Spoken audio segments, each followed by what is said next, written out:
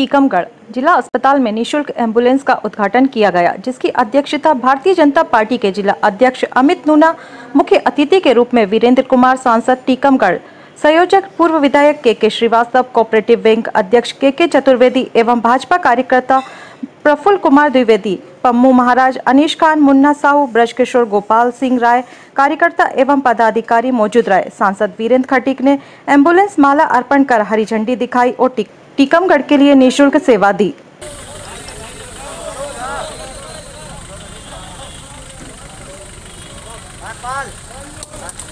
और ये टीकमगढ़ ज़िले के लिए एक बड़ी सौगात इस समिति के द्वारा मिली है।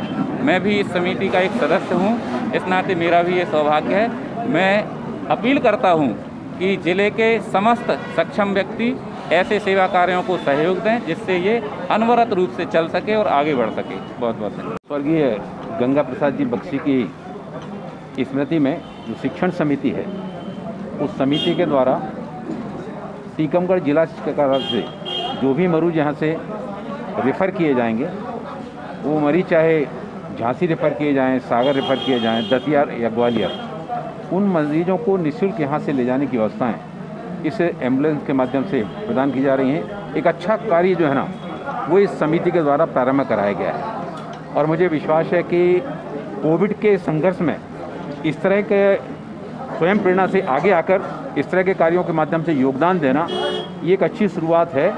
और हमको, समाज को, सबको मिलकर, यानी शासन को भी मिलकर, अस्पताल के हमारे अधिकारी हैं, चिकित्सक हैं, उनको मिलकर, और समाज सेवी संस्थाएँ भी आज जिस तरह से कोविड से संघर्ष में अपना योगदान दे रही हैं, उसी कड़ी में एक बहुत महत्वपूर्ण कार्य आज इस परिसर से प्रारंभ होने जा रहा है। इस कार्यक्रम में हमारे साथ में हमारे पूर्व जिलाध्यक्ष सम्मानीय गोविंद बिहारी अग्रवाल जी, हमारे पूर्व विधायक के के श्रीवास्तव जी और जिनकी आयोजन समिति के जो हमारे अध्यक्ष हैं, आयोजक हैं हमारे पार्टी के भी जिलाध्यक्ष हैं, भाई अमित नूना जी, इन सबकी गरिमा में उपस्थिति में इसको प्रारंभ किया जा रहा है और विश्वास है कि एंबुलेंस सेवा हमारे ज़िले के इस अस्पताल से रेफ़र किए गए मरीजों की अपनी सेवाएँ देने में काफ़ी अच्छे प्रभावी ढंग से अपना योगदान देगा ही।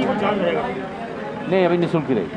मुझे पुलिस हमको देखा गया है कि अपने भाजपा में अलग स्थिति चल रही है दो गुट में आ रहे भाजपा विधायक गुट है सांसद गुट क्या कहते कोई गुट नहीं है भाजपा ही अपने आप में पूरा निर्गुट है।